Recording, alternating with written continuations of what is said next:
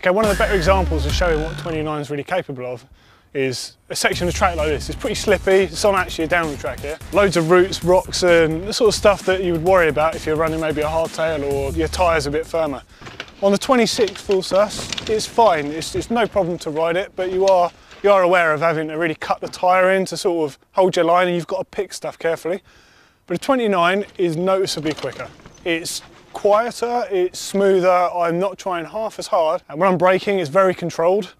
Everything about it is a lot better. I'm watching a bunch of uh, downhillers come down here on their 26 inch wheel bikes uh, and they're going pretty quickly but the really weird thing is that Doddy is I think quicker on his 29 inch wheel bike and he's certainly not working as hard. Now when I was riding on the 29 just a second ago it didn't feel as fast as the 26. This is why a lot of people kind of misunderstand the whole 29 thing. The fact is you are going faster it just doesn't feel quite as fast. 26 inch bike feels fast but it's a visceral speed that you're sensing because you're having to make so many more adjustments and you're working harder at keeping the traction and the grip and the line that you're looking for.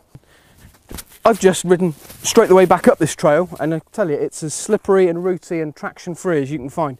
But the 29er whistled up here, the 26 would have been nigh on impossible to get up here because you can't control the torque forces over the rear tyre. You could not do that on a 26 inch hardtail. As it was, I was able to concentrate on my pedalling and my weight distribution. Couldn't have done it on the 26.